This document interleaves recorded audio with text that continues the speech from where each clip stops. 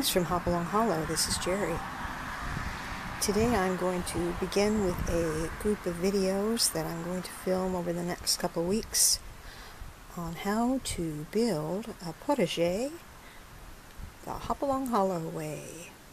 Hopalong Hollowscaping is my style of gardening and the reason it is is because it's the kind of gardening I do in the storybooks I write and illustrate. I translate it to my own gardening, and it's sort of a storybook like look. It's easy to do, it's less expensive than formal gardening because you're going to use a lot of items that you just find or you get secondhand or you have repurposed. So, seeing as Hopalong Hollow is the central location in my storybooks, it is also the name of our farm here in East Tennessee where we grow gardens, we raise animals as pets. We have many, many animals from peacocks and geese and ducks to donkeys, sheep and goats, dogs, and one cat at the moment.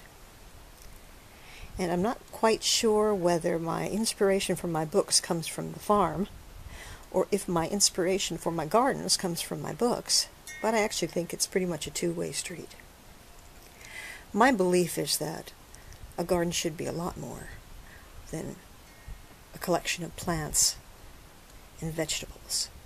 No matter how healthy and beautiful they grow, if they don't have the right backdrop, if they don't have the right structure, the right garden bones, they just aren't as enticing and appealing and winsome as they could be if you give them a nice structure.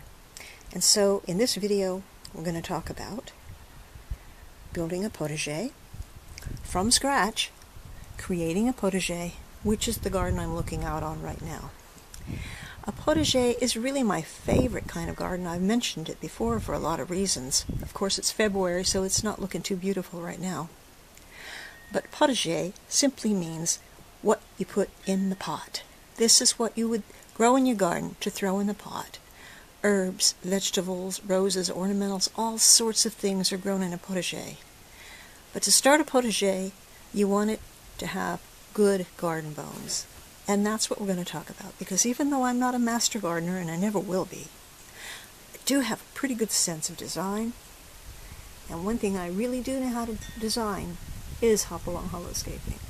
So if you like this kind of look, please hang around and we'll start with creating and designing you, your own brand of Hopalong Hollowscape. So the first thing you want to do is get yourself a nice fat notebook with graph paper and pour yourself a cup of coffee or tea.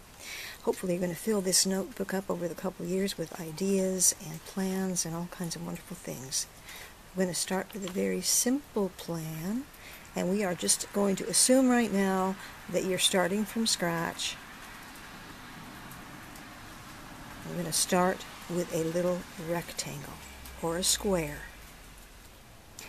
Now you want to choose your plot of land so that you're able to expand in several different directions because over the years you, you may want to grow this bigger and bigger and bigger. Mine started as this little strip right here alongside this porch that I'm sitting on right now.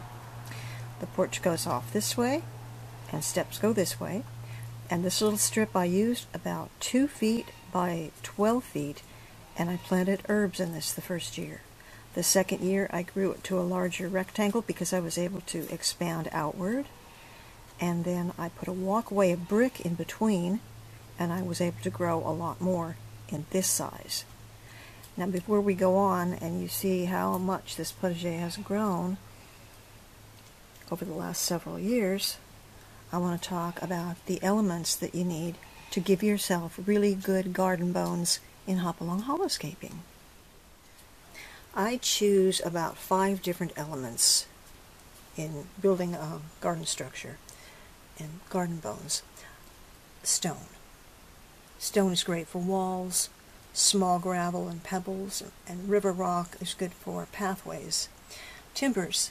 You can make raised beds out of timbers, which we do a lot of here, cedar posts. You can make garden structures such as um, arbors and pergolas. You can make little garden borders with stone, as you can see right there. If you use your trimmed wisteria, your willow, your trimmed um, rambling roses, you can build little woven fences. And then using old wood, gates, all sorts of things you can do. Just using things that you found. Also, you can see pathway here where we, you've used the timbers. I've used salvaged brick. Now, you can buy railroad ties. These are old timbers from off of our, our old bridge. And this brick was salvaged. It came from Craigslist. You can get really good deals on wonderful old brick. I like old brick because it um, has nice rounded edges and it's got a lot of different colors to it. Here, stone we've just collected. Here again, timbers. More stone. More gravel from the creek bank. The trick is to keep repeating these elements throughout your garden so that you have some sort of consistency. You want to keep on designing and building on with these elements. So the two elements, so far we've seen three elements, are brick, stone, and wood. Another example of wood right here. This is from the trimmed wisteria bush that was just about covering our house. I trimmed that in the autumn, I believe, after the leaves had fallen. Made a nice little woven fence here. This encloses a strawberry bed, which is going to be turned into something else because I'm going to move these strawberries up off the ground so the slugs don't get them. There again, stone. So in this section of potager, you see the elements of wood, brick, stone, and the fourth element, salvaged metal pots. So here again, we're back at our bed. You choose the elements you want to build with. In this case, I've got timber surrounding this bed.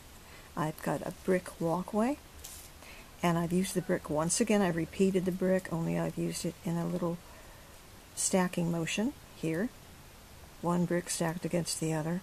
A little more decorative, but very old-fashioned. And we've got more stone going along here. And we've also got stone um, walkway here. The garden grew into a rectangle. And we'll just stop right there because let's say you're going to start right here. Let's say you've got your plot that you've got a piece of grass in the middle of the yard or up against your house, and those are both good places as long as you have room to grow. You are going to mark it out, and then you're going to do the no-dig method. If you're starting from scratch, this is great. I just learned about this. I wish I'd have known about it a long time ago. But there's a man called Charles Dowding on YouTube that introduces the no-dig gardening method, and he's got some great videos. What you do, you just take your little piece of land, you measure it out, you're going to cover this with cardboard. Just take cardboard boxes, open them up, spread them out flat, lay them right across your weeds or your grass right here, and then give them a good soak. And then on top of that, you can either just load about six to eight inches of pure, clean compost, or if you want an extra layer of nutrition, you can lay straw, not hay, but straw. And then on top of that, you're going to put your compost. And then you are going to have a beautiful place to plant just about anything. You don't have to weed it because the cardboard and the, the um, compost are going to keep those weeds from coming up. At least that's the theory. We'll find out because I did it in several beds. Um, and then you're going to have a beautiful place to start growing the things that you want. So let's just say that you've got your bed ready to go, ready to plant. You've built it already. And now you want to start designing a garden that's going to bloom from spring all the way through October.